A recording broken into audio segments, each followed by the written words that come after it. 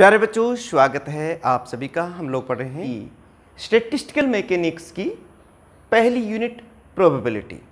और आज के इस लेक्चर में हम देखेंगे कि बाइनोमल थोरम को हम प्रोबेबिलिटी में कैसे यूज़ कर सकते हैं यानी binomial theorem of probability.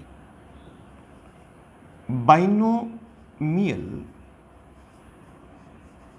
theorem of probability.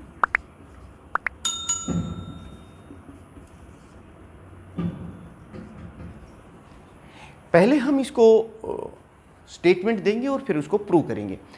बहुत ज़्यादा जब न्यूमेरिकल्स होते हैं क्वेश्चंस होते हैं, आगे के जो आर्टिकल्स हैं, उनमें उनमें जो डेरिवेशंस होती है प्रोबेबिलिटी के कुछ एक्सप्रेशंस को ड्राइव करने में, उसमें इसको यूज़ करते हैं। तो चलिए देख लेते हैं स्टेटमेंट क्या है। If A is the probability of happening an event. किसी इवेंट की होने की जो प्रोबेबिलिटी है, वो ए है, अगर। And B is the probability of failure failure of that event B जो है, उस इवेंट की ना होने की प्रोबेबिलिटी है। Then the probability occurs. An event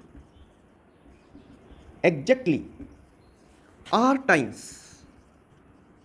in n is the r plus one term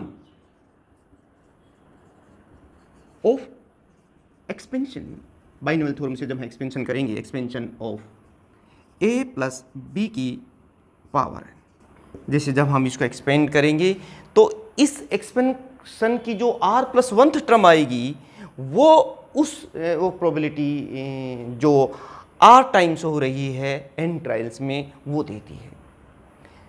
चलिए अब हम इसे प्रूव कर देते हैं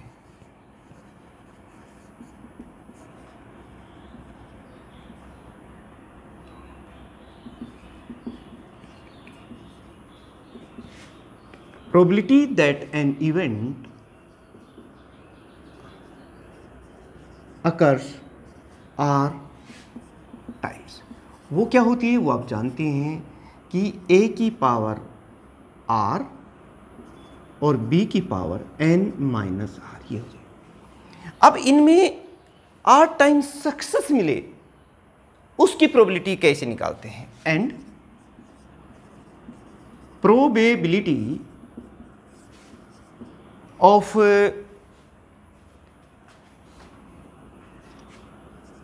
an event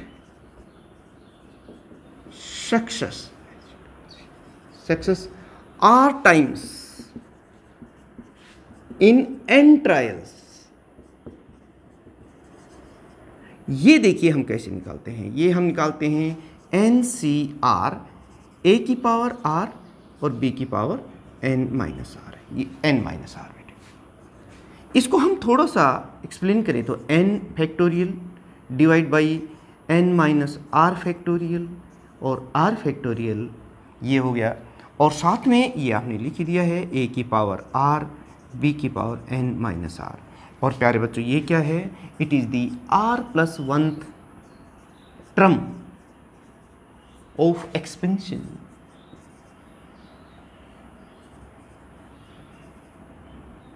A plus B की पावर है यही तो हमें देखना था कि बाइनोमियल थ्योरम ऑफ़ प्रोबेबिलिटी क्या है।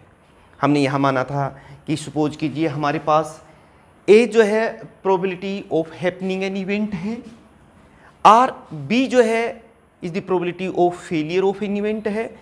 तो probability to occur an event exactly R times in N trial is this R plus one term of the expansion वही कहने के लिए हमने यहाँ से शुरुआत करी कि प्रोबेबिलिटी दैट एन इवेंट अगर आर टाइम्स तो वो ये है ही।